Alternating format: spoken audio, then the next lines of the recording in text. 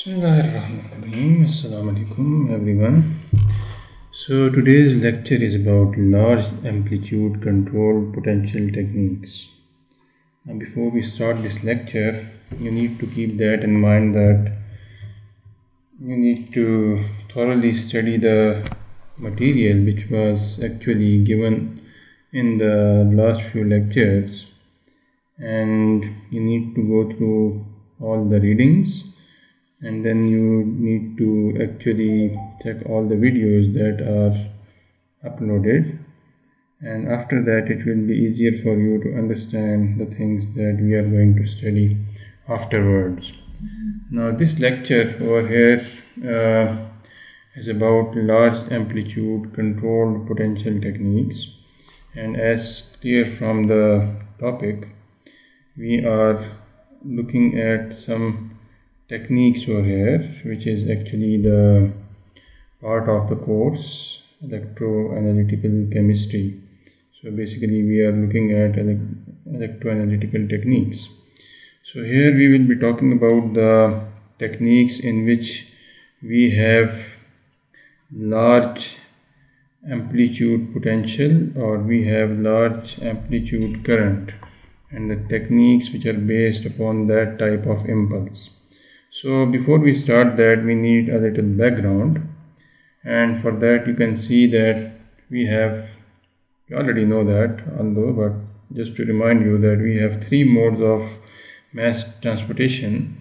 And these are very well known modes. One is diffusion which you can see over here diffusion. And the other one is migration. And the other one is convection so clearly diffusion is something which is related to a concentration a concentration gradient. And you can see that there is a portion where concentration is quite high and then there is another portion where the concentration is quite low. And the movement is taking place from high concentration to low concentration.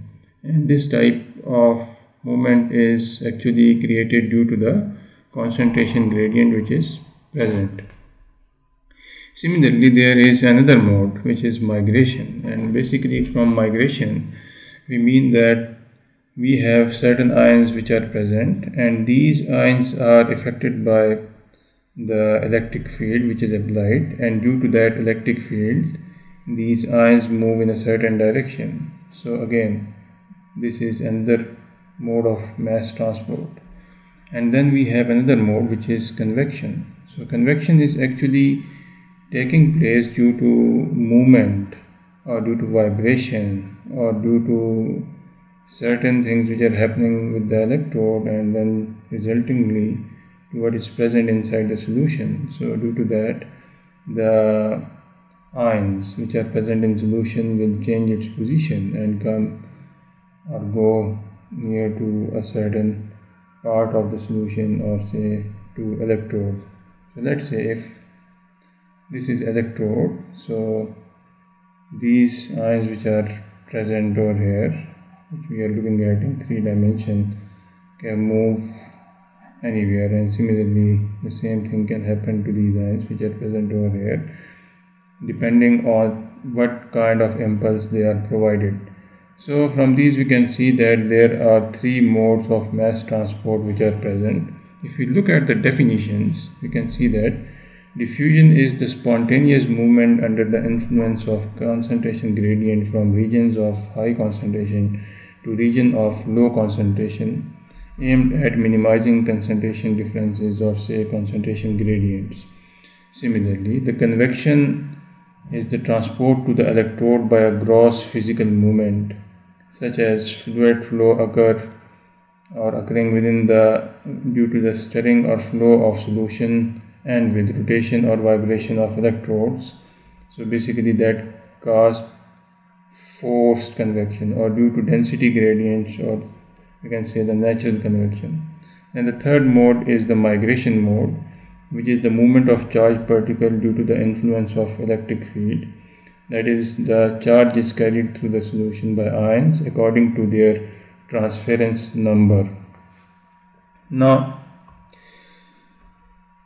we can see that another important concept over here is the Ohm's law.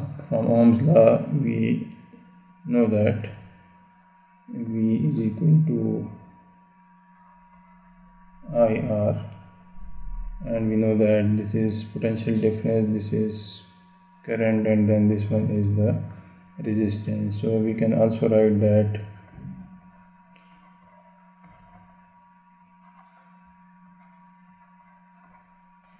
so this is also another way of writing the same law.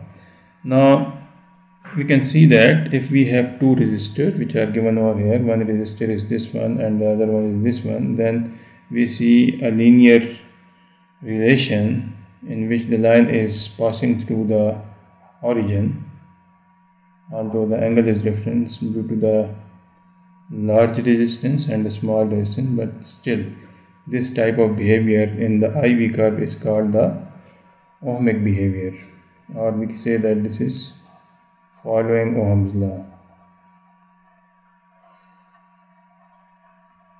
so we observe ohmic behavior. Now if we have a diode or a battery then the similar type of behavior is not observed and it is not obeying the Ohm's law and we see that here we don't have a linear relation in this case. And then in this case the line is not passing through the origin so there is an ohmic behavior and then there is a non-ohmic behavior. Ohm's law is followed then we say that it is ohmic behavior.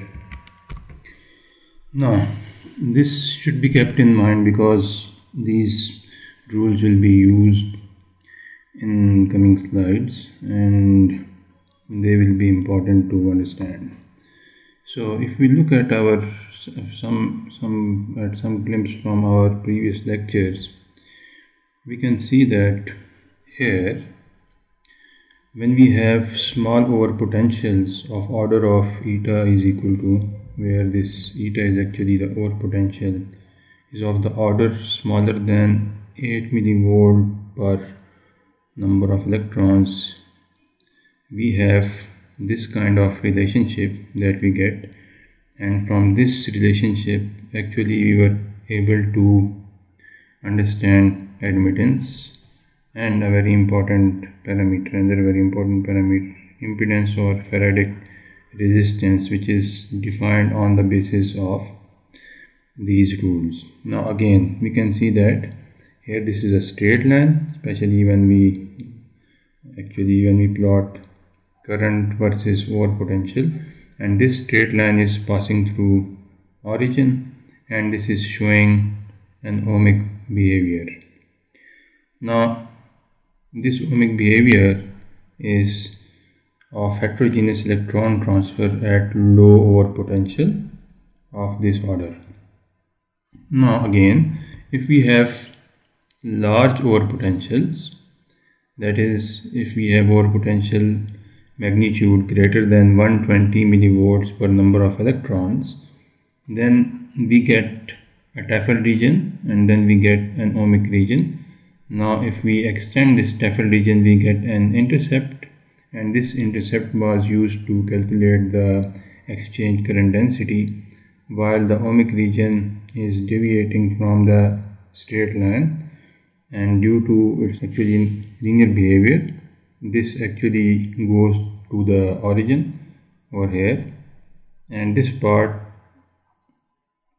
is showing the ohmic part of the curve that is for large over potential. Now in case of large over potentials, we also know that if we are working under certain situations that is of non-stirred solution or similar solutions then we actually encountered diffusion and this diffusion is coming from the build-up of the electrical double layer which is taking place at the electrode solution interface. so whenever you put the electrode inside a solution which is non-state solution and even before applying the current there will be a buildup of double layer. Now the diffusion layer that is or the diffusion part or the diffusion layer of this double layer is the part where the uh, concentration or the presence of the oxidized species is depleted because here we are considering a process such that an oxidized species actually take up electron and it goes to a reduced species. That is the formation of reduced species is taking place. Now this formation of reduced species is a result of heterogeneous electron transfer reaction. So this reaction is partially defining the not partially but actually defining the diffusion layer. So what happens? That is when you apply the potential then this oxidized species is converted into reduced species. Basically this is also telling us about the potential step that we have over here. That is the potential step is such that it it actually convert this to this reduced species. In other words the potential step is responsible for the depletion of this oxidized species to reduce species. Now we know that this oxidized species is basically something which is present inside a solution in which the electrode was dipped.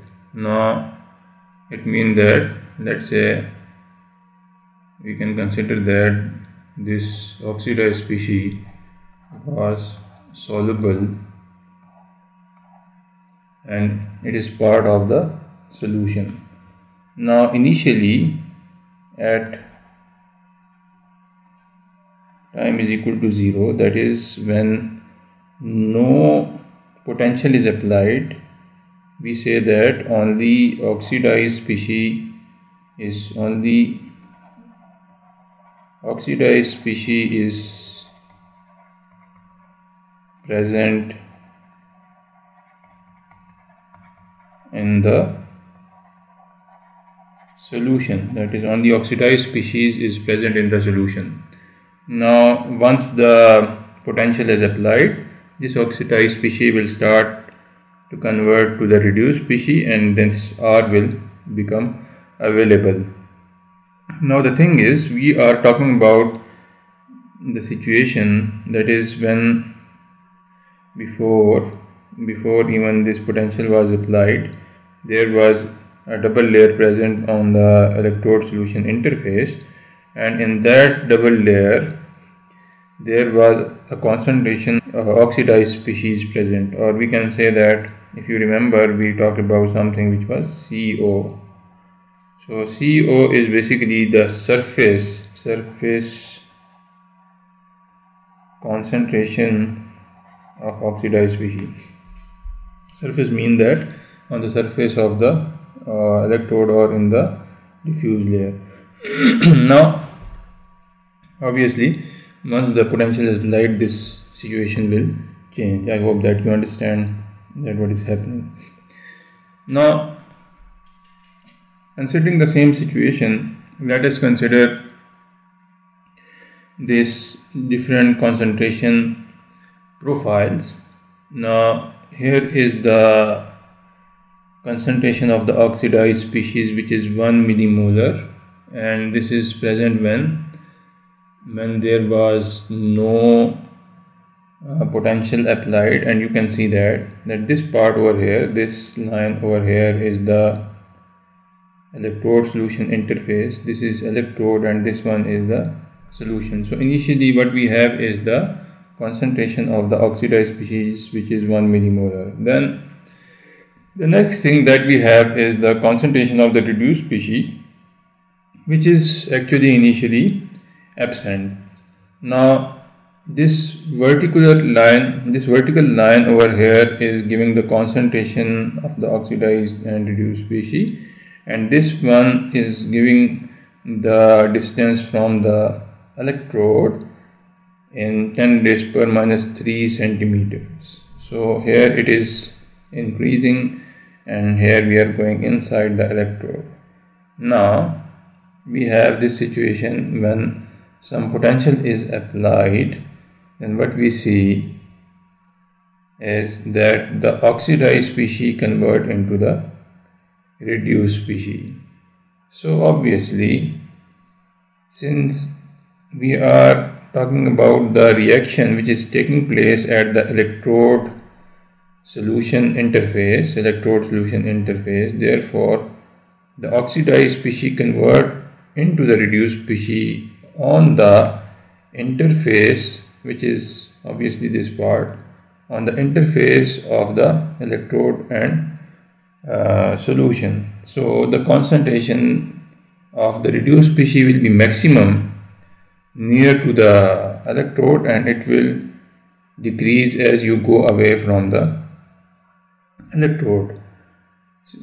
And on the contrary, the concentration of the oxidized species will actually be increasing when you go into the bulk away from the electrode because the concentration of the oxidized species is reducing, it is depleting on the electro electrode solution interface with the application of the potential. So this graph is showing that situation. Now here we can see that that in this case in B part it is the profile of oxygen is given by dashed line and R by solid line at 1, 4 and 10 milliseconds after potential step of ES is applied. Now in this case R is soluble in the solution. So we already said that oxide oxi oxidized species is uh, soluble in the in the in the solvent and now we say that the reduced species soluble in the solvent so anyway? That's why we get this exponential type of curve that there is some the maximum concentration of reduced species is present on the electrode solution interface but obviously since there is absence of reduced species in the bulk initially so therefore we see that the reduced species diffuse through the layer into the bulk so therefore there is presence of although decreasing presence of reduced species into the bulk of the solution and an increasing presence of oxidized species into the bulk of solution. Now what happens if we have this reduced species soluble into the electrode we see that in that case the concentration of the reduced species is increasing into the electrode with time. That is inside the electrode more into the or it is penetrating more into the electrode with time. But if you look at the oxidized species the situation remains same. Now the D is showing that what happens if the potential is stepped from ES to EF that is at 10 at tau is equal to 10 milliseconds so that oxidation of R 2O is now diffusion control. So what do we mean by diffusion control and what do we understand by that? Now you can easily see that when we have that kind of reaction which we already written that is the heterogeneous electron transfer which is taking place and is responsible for the formation of the reduced species then basically diffusion control will mean that once the potential is stepped that is it is applied then all of the oxidized species will convert into the reduced species. It means that there will be no presence of oxidized species on the interface. So what happens that some of the oxidized species diffused through the layer electrical double layer into the electrode solution interface. And as soon as it enters it is converted into the reduced species. So as much as oxidized species can diffuse at the same rate the formation of the reduced species will take place. So now this formation after it happen will create different type of situations like the one we saw over here in which there was solubility of the uh, oxidized and reduced species in the solvent and not in electrode and then there was the solubility of reduced species into the electrode and not of the oxidized species. And then this third uh, situation where the potential is stepped. And the reduced species is also soluble in the electrode. So these kind of situation can be observed. Now moving from here we can see that that we can have in this type of situation when large amplitude control potential or controlled current is applied and there would be techniques which will be depending on that analytical techniques and that will be mostly explained by the non-linear region where the current is exponentially related to the over potential. Now this type of situations have application in analytical techniques and also in the studies of the coupled reaction that we explained in the last lecture that you can see again from the playlist now I already told you that what is the potential step so potential step is basically when you apply a potential initially so that all of the oxidized species is converted into the reduced species and then so why is that happening? So you apply a step and finally it is back to the zero potential. So it means that it is initially increasing in a step. A step is taken step is such that all the oxidized species is converted into a reduced species and then it is back to the zero potential it means that the potential is applied in kind of pulses which is actually causing a certain type of response so stationary solutions or quiescent solution or non-stirred solutions is another condition for such techniques. So we will be looking at non-stirred solutions in which the electrical double layer is built up in a certain way. Now the three techniques that have the similar type of situation are chronoamperometry, chronocoulometry and chronoabsorptometry which actually demonstrate same type of response and same type of impulse is given under the conditions so we will see that how they are defined over here. Now chronoamperometry is a time dependent technique where a square wave potential is applied to the working electrode.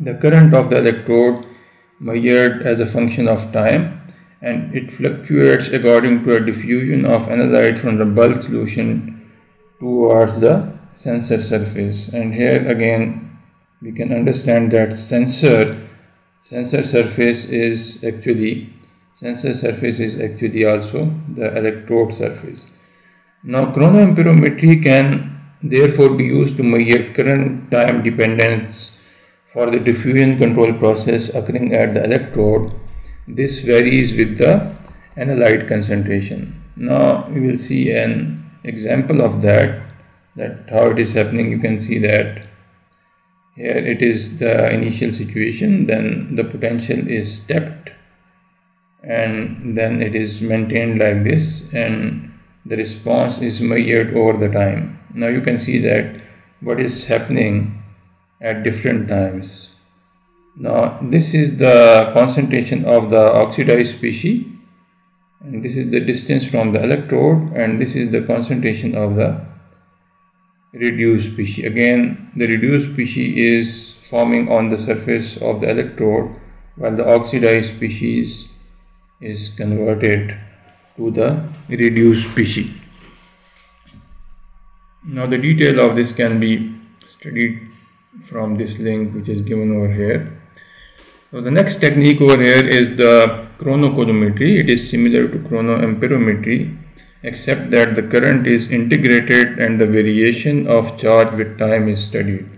The advantage of integration are that the signal increase with time facilitating measurements toward the end of the transient when the current is almost zero. Integration is effective in reducing signal noise it is relatively easy to separate the capacitive charge from the faradic charge which is an important point over here that is separation of capacitive charge and the Faraday charge. So now we have an example of a double potential step chronoamperometry and chrono 1 here but there is also with a single step chronoamperometry. We saw in the previous example. Again the detail actually can be checked over here.